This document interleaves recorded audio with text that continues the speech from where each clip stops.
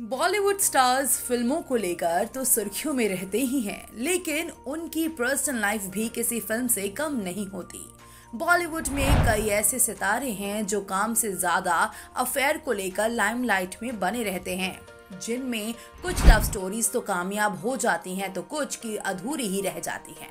इन्हीं में से एक है एक्ट्रेस रेखा और एक्टर विनोद मेहरा की लव स्टोरी, जिन्होंने मोहब्बत तो की लेकिन अधूरी, जिसके चलते रेखा के साथ हुई एक ऐसी घटना, जिसे वे आज तक नहीं भूला पाए तो चलिए बताते हैं आपको इस बारे में बॉलीवुड एक्ट्रेस रेखा अपनी रियल लाइफ से ज़्यादा रियल लाइफ को लेकर हमेशा चर्चा में रहती आई हैं। बॉलीवुड फ़िल्मों में रेखा का नाम अमिताभ बच्चन के साथ अक्सर सुर्खियों में रहा है।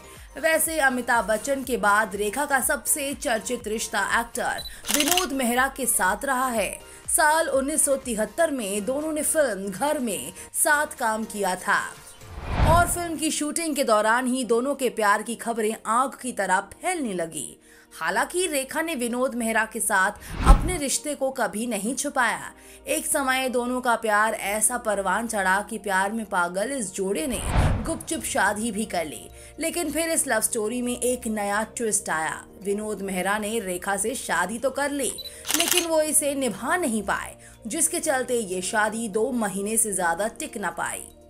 बताया जाता है कि एक्टर विनोद मेहरा की माँ को रेखा बिल्कुल भी पसंद नहीं थी। फिर भी विनोद जब रेखा को लेकर अपनी माँ के पास पहुँचे तो उनकी माँ ने रेखा को घर में घुसने नहीं दिया। और तो और, रेखा की चप्पल से पिटाई तक कर दी। इसके बाद जब रेखा ने विनोद मेहरा से माँ और प्यार में से किसी एक को चुनने के लिए कहा तो विनोद मेहरा ने माँ को चुनना बेहतर समझा। यही वजह है कि विनोद मेहरा ने माँ के दबाव के आगे रेखा का साथ छोड़ दिया। इसके बाद रेखा ने डिप्रेशन में आकर जहर खाकर जान देने की कोशिश भी की। लेकिन एक प्रेस कॉन्फ्रेंस में रेखा ने बताया कि बासी उपमा खाने से उन्हें फ़ूड पॉइजनिंग हो गई थी। आज भले ही विनोद मेहरा इस दुनिया में नहीं है, लेकिन इस बात में कोई दो राय नहीं कि रेखा उनकी ज़िंदगी का एक अहम और खास हिस्सा थी।